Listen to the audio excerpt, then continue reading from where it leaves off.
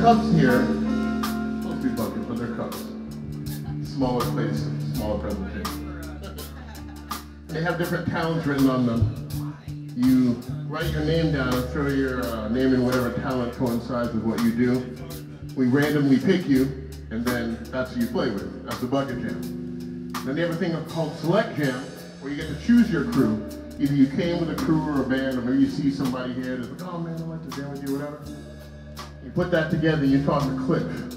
This Cliff right here looking so suave in the headband. You know what I'm saying? like a sexual Jesus.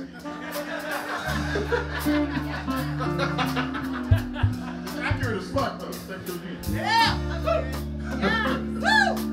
And those are the select jams. We do one bucket, one select, one bucket, one select. We alternate all night.